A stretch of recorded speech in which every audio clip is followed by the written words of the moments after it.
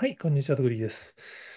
えー今日はですね、先日沖縄で参加したマーケティングアジェンダでちょっと面白い話を聞いたので紹介したいと思います。えー、Yahoo ニュースにはトップマーケターに学ぶ話題化は炎上と紙一重だからこそ一歩踏み込む勇気が大事という視点というタイトルで寄稿してみたんですけど、ファミマの CMO の足立さんと、えー富永さんがマーケティングアジェンダで基調講演をしていて、まあ、いわゆるこの話題化、まあバズをいかに起こすのかみたいなのが、まあ、メインのテーマだったんですけど、まあ、そのテクニックをいろいろ教えていただいたんですよね。まあ、ファミマの足立さんはね、本当マクドナルド時代から、この辺はもう悪魔的に得意な方なんで、まあ、そこはぜひあの記事を読んでいただければと思うんですけど、その時の発言で個人的にめちゃめちゃ印象に残ったのが話題化は炎上と紙一重話だったんですよね。だから、まあ、いわゆるバズが起きるって話題が大量になるってことなんですけど、これやっぱポジティブだろうがネガティブだろうが、実は話題の量がたくさんなるっていうのは同じなんですよね。その時のネガティブの量が多ければ炎上だし、ネガティブが少なければ、いわゆるバズ、話題、いい意味でのバズになるっていう。で、本当にそれが紙一重なんだよっていう話を、えー日経エンターテインメントの品田さんと JTB の片口さんのセッションで事例として出てきたのがこのヘッダー画像に入れているあの花が咲く丘で君とまた出会えたらっていう映画の話ですね。まあ、これ全然違うセッションだったんですけど同じ話がつながってるのが面白いなと思ったんですけど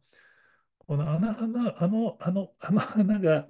咲く丘で君とまた出会えたらっていうのはもともと小説が TikTok で話題になって映画化までたどり着いたんですよね。で、その小説が2016年に出版されたんですけど、TikTok で2020年にヒットするっていう4年越しの大ヒット。当初2万部だったのが100万部超えたっていう、すごいヒットなんですけど、これを映画化するにあたって、実は小説記は主人公の女性は中学生らしいですよね。でも、まあこれ映画実写化あるあるなんですけど、やっぱ中学生だとやっぱ役者さんのバリエーションが限られちゃうので、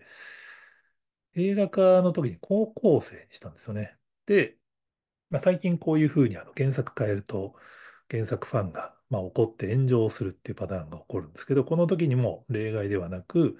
実は原作ファンを中心に批判がわっと高まったそうです。映画制作しますっていう。主人公は高校生の女の子ですみたいな感じでやった時ですね。で、まあ、通常やっぱそこで炎上しちゃうと、あの、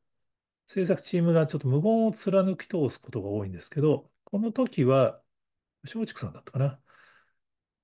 黙ったり、えっと、するんではなくて、ちゃんと対応したらしいんですよね。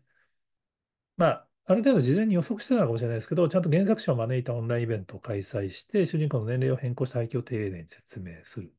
ような対応をしたそうです。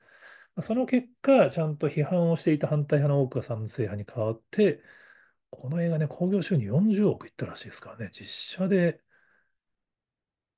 単発もの、ドラマ、テレビドラマとか関係なく40億はすごいと思うんですけど、ちゃんと実は炎上を乗り越えていたっていう。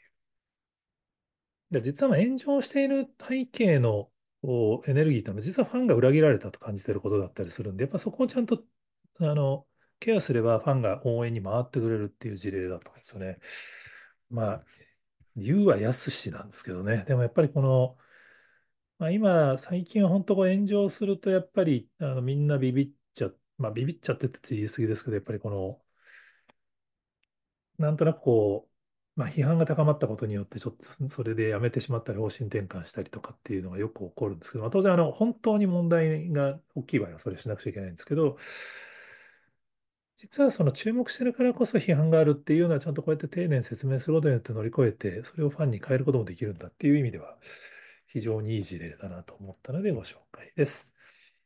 はい、えーこちらのチャンネルでは日本のエンタメを密かに応援したいと思っていますので、えー他にも面白い話してますよって方がおられましたら、ぜひコメントや DM で教えていただけると幸いです。山ありがとうございます。